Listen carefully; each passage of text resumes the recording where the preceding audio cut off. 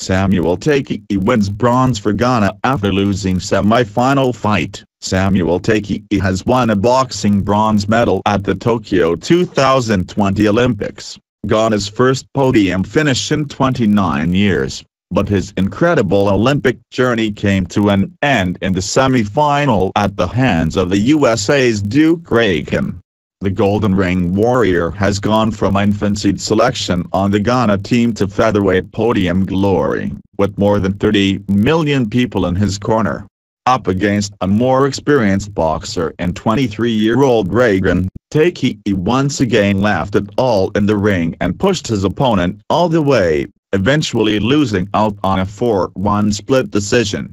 Takyi started strong, scoring on sharp jabs and using his height advantage, taking the first round 3-2. But round 2 went to Ragan, who was technically superior, then really turned it on early in the third, scoring with a bruising left-right combination and keeping Takyi from landing those rangy punches, working it inside. The judges scored rounds 2 and 3 4-1 meaning Duke will box for gold while Takyi returns to Ghana a hero, bringing a bronze with him that represents Ghana's first boxing medal since 1972 and their first in any sport since the football team won bronze at Barcelona 92.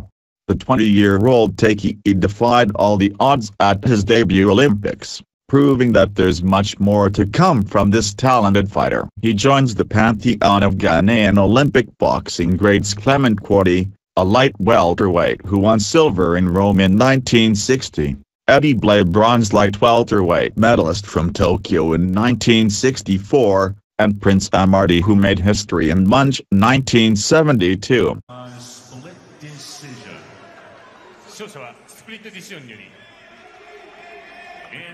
It's Ragan.